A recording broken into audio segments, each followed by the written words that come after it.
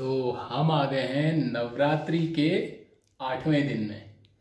और थाली लग के आ गई है मेरे सामने। तो आइए आपको दिखाते हैं कि इसमें क्या क्या है।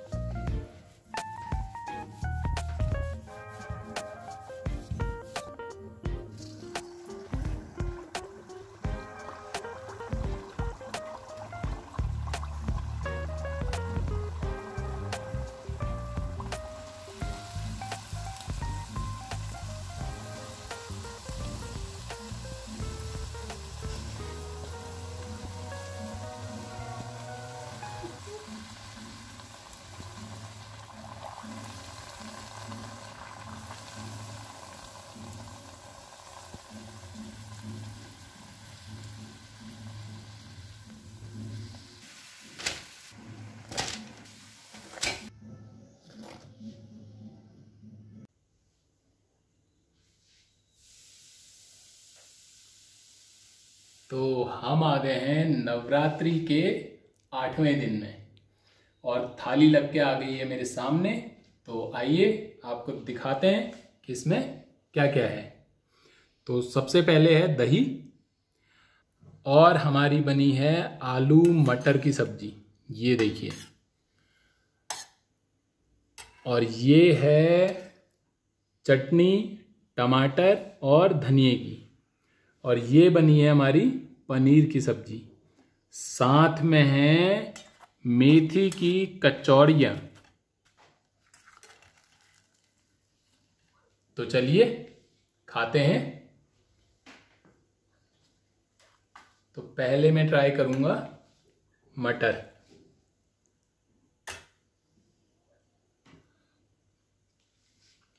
हम्म हम्म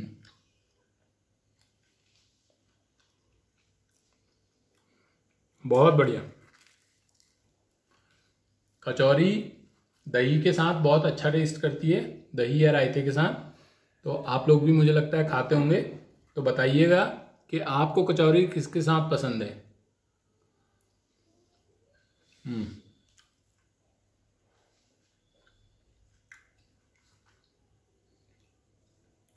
दही के साथ तो बहुत ही बढ़िया। तो अब हम ट्राई करते हैं। पनीर की सब्ज़ी। तो ये है देखिए, साथ में एक भुनी हुई मिर्च। तो मैं लेता हूँ पहले थोड़ा पनीर।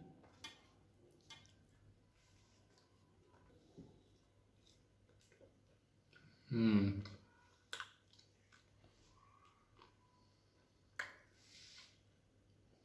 हम्म।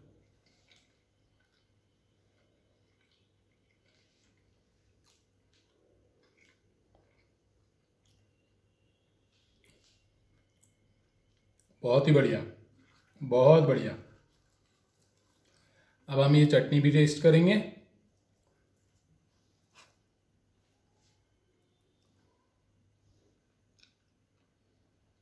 हम्म।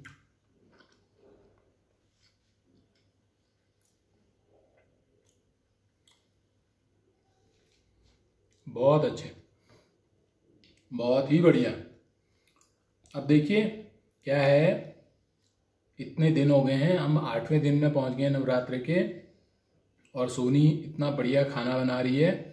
तो आज मैं गया हुआ था मार्केट थोड़ा सा काम से तो यहाँ पे बहुत फ़ेमस एक स्टैंडर्ड स्वीट्स करके शॉप है, बहुत अच्छी मिठाइयाँ होती हैं। तो मैंने इसको बोला कि आज मीठा मत बनाना। तो मीठे में मैं वहाँ से लेके आया हूँ ये मलाई के लड्डू। तो आइए इनको टेस्ट करते हैं।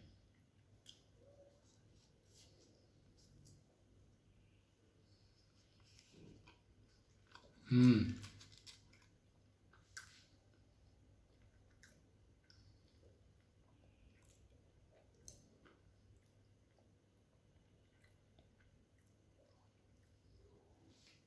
ये बहुत बढ़िया है, बहुत बढ़िया।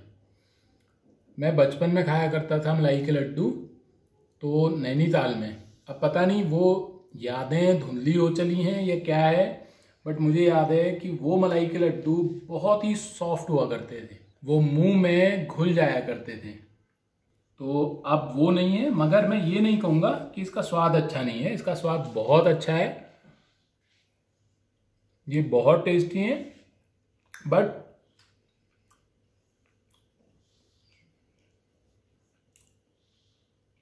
पर जो उस समय के मलाई के लड्डू होते थे ना, वो बहुत ही अलग थे, बहुत अलग।